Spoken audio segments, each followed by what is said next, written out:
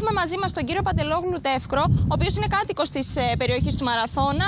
Πείτε μας λίγο, ποια είναι η κατάσταση; Κάτοικος του Δήμου Διονύσου και μέλος του Δημοτικού Συμβουλίου, επικεφαλής Λαϊκή Σπήρωση.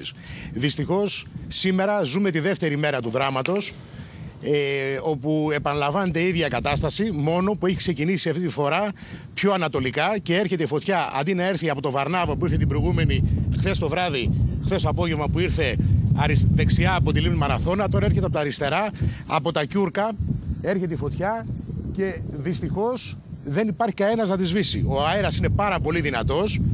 Δίπλα από τη λίμνη του Μαραθώνα που έχει νερό για να μπορέσει να σβήσει φωτιά επιχειρούν μόλις δύο ελικόπτερα και με τέτοιο αέρα η φωτιά είναι ασταμάτητη. Το πρόβλημα είναι ότι εδώ πέρα υπάρχουν, υπάρχει αγροτοδασική, ε, αγροτοδασική έκταση η οποία μπορεί να συντηρήσει μια φωτιά και μετά από το λόφο εκεί πάνω στην Αχλαδούλα είναι παρθένο δάσος της Αγίας Παρασκευής του οικισμού Αγίας Παρασκευής στον Άγιο Στέφανο, όπου αν η φωτιά πέσει εκεί πέρα, η κατάσταση θα είναι ανεξέλεγκτη. Και μιλάμε τώρα για σπίτια μαζί με δάσος. Η κατάσταση θα είναι πάρα πολύ δύσκολη.